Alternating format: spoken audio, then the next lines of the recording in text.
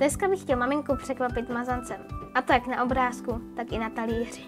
Co budeme potřebovat? Hladkou mouku, polohrubou mouku, vejce, mléko, rozinky, máslo, kvásek, cukr, sůl, droždí, muškátový oříšek, rum, citronovou kůru, vanilínový cukr a na potření vejce a mandle. Začneme s našima oblíbenýma rozinkama, které na hodinu naložíme do rumu. Do kastrolku nalejeme mléko, Rozpustíme máslo, Už je upustený? skoro. Obě mouky dáme do misy. Máme sůl. A cukr. A hezky zamícháme.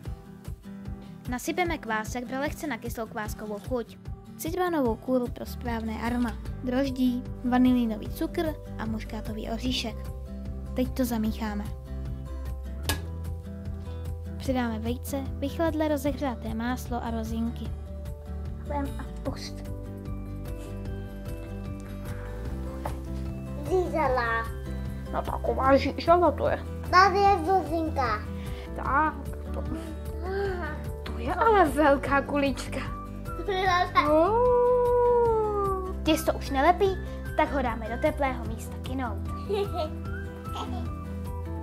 Po vykynutí pořádně prohněteme a na 15 minut necháme ještě pod utěrku hezky odpočinout. Potřeme vajíčkem a posypeme mazanec mandlema. A šup s ním do trouby na 190. Překvapení! Je, mazané, krásné. Ten je pro tebe. Ten se vám poved.